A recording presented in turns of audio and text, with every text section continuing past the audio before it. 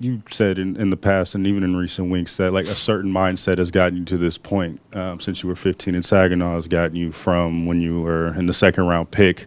Um, what's the journey been like knowing that that's been your mindset and then finding out that's not sustainable at this point in your life and then trying to figure out another way in real time?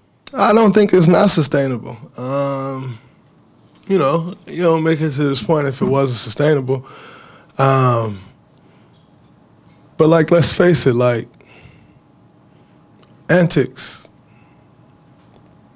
Antics isn't something that got me here.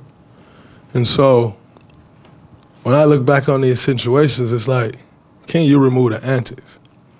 I'm very confident I can remove the antics. And I'm very confident if I do remove the antics, no one's worried about how I play the game of basketball. You know, nobody's worried about um, how I carry myself in the game of basketball, but it's the antics. And um, so that's my focus. You know, it's not on changing who I am completely. Like, you don't change the spots on a leopard. Like, it's just not going to happen. And I'm not going to try to set some unrealistic expectation of, like, who's this person going to be? Like, it's not real, and that's not sustainable. Um, I've always said before, I, I, could, I know how to be me a lot better than I can be anyone else. But in saying that, can I accept the fact that my my antics has been over the top? Of course. Can I remove those? Am I capable of removing those?